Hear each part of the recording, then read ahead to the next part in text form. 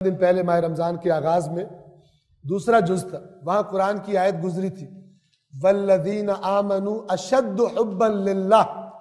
वो लोग जो ईमान लाए हैं, सबसे ज़्यादा शदीद मोहब्बत उनको अल्लाह के साथ होती है। तो फरमा रहे कुरान की आयत है। तो वो मुख्तलिफ़ जगहों पर, वो पता नहीं किसी ने उसका वो क्लिप वहाँ से काटा और उसको भेज दिया। वो वायरल हुआ। खूब जिन्होंने तो आयत की, कुरान की, आयत के अल्फाज की तरफ़ तवज्जो की और देखा कि बात कही क्या जा रही है उनको तो समझ आई। लेकिन बाज ने आयत कुरान को नहीं देखा। तो वो इससे बिदके और अपनी बदहवासी में उन्होंने वो बात की जो खिलाफ कुरान है। एक ने कहा, ये जो कहने वाला है, यानी मुझे कहा, ये कहने वाला ये कह रहा है, अहल बैत का ज़िक्र ना करो। आप वो क्लिप जाके सुन लें। नाउजुबिल्ला मिनजालिक सुबहान अल्लाह हादा बोहतान अजीम। बोहतान लगाया कि अहल बैत का ज़िक्र ना करो, ये ये कह रहे ना। दूसरे साहब ने ये फरमाया, एक और साहब ने, बहुत सारी फरमाइशात आ रही हैं, और अल्हम्दुलिल्लाह, बसर चश्म। एक ने यह कहा कि भला जिसको देखा ना हो, उससे मोहब्बत हो सकती है। यह तो नामुमकिन है।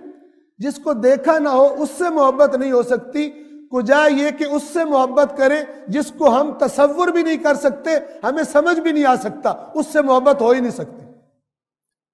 आप देखें, ये जो मैं अल्लाह ने तोफीक दी और ये कुरान सुना रहा हूँ ना, ये जाके हिट करेगा तुम्हारे बातिल नजरियात पर।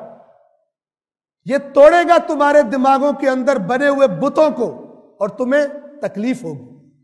लेकिन याद रखो, जिसने अल्लाह की किताब को देख लिया जाकर के वहाँ क्या लिखा हुआ है, उसके लिए हिदायत है। अल्लाह की किताब से बढ़कर कोई हिदायत नहीं।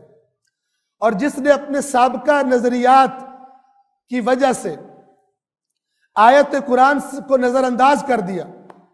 फब हदीस व आयात ही युमिनून। तो ये और अल्लाह और उसकी आयत के बाद किस बात पर ईमान लाएँगे? और खुद इस आयत में अल्लाह कह रहा कि मेरी आयत तुम्हारे दिमागों को समझ आएँगी। अगर समझ ना ना आने वाली चीज़ें होती तो अल्लाह कभी ना कहता, इन आयात के बाद किस पर ईमान लाएँगे? सबसे मोकम अल्लाह के रसूल का हथियार भी कुफार के खिलाफ ये कुरान है। तुम कहते हो, समझ नहीं आएगा। खबरदार हो जाओ कि ये जिसको इस मसलन कुरान की बात सुनकर थोड़ा अजीब लग रहा है तो वो मुझ पर गुस्सा ना करे।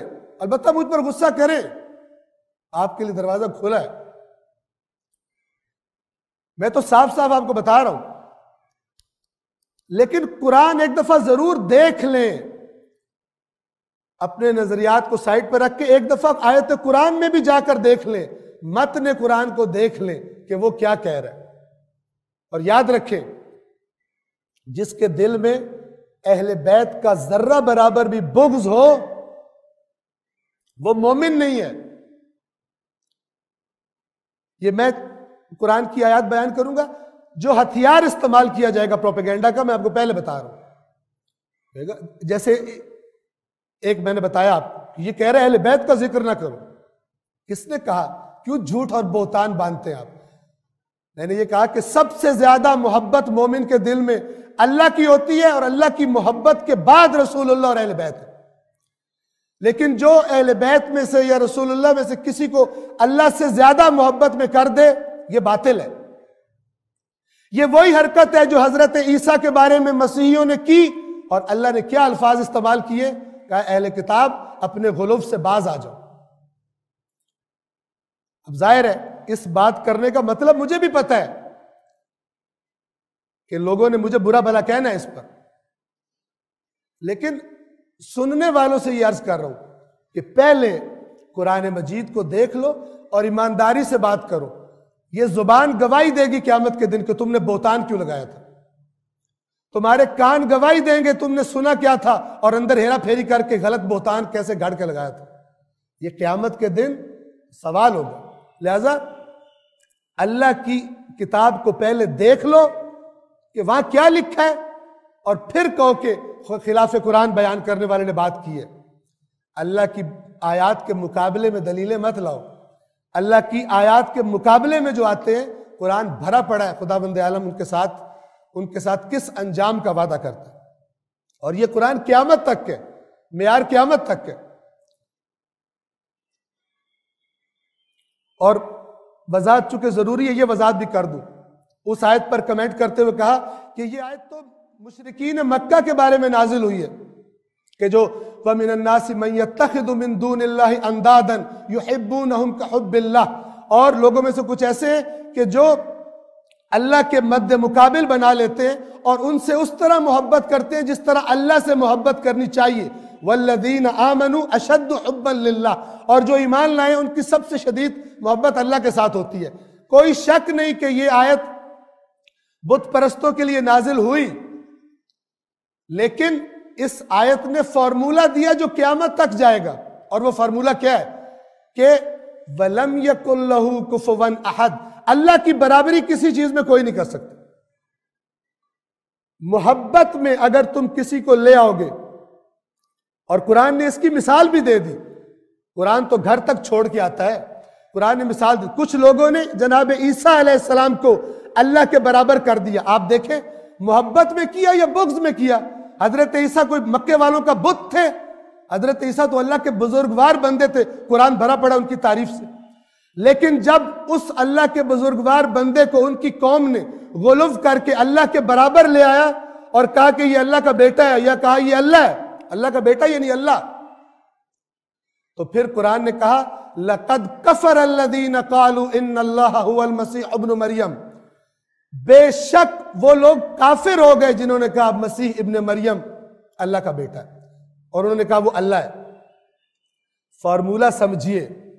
और अहल बैत ने ये कुरान कैसे फार्मूला देता है? बताया हुआ है। आपको पता नहीं है। बात को समझिए। हट धर्मी से बात को देखना और बोहतान तराशी शुरू कर देना यह मिजाज अल्लाह ने मोमिनों का मिजाज नहीं बताया कुरान में। यह मिजाज हट धर्मी और जिदबाजी का मिजाज अल्लाह ने और लोगों का बताया कि जो उस जमाने में बात नहीं माना करते थे। कुरान पर गौर पहले कर लें, बाद में फिर जो जी में आए आप कहें।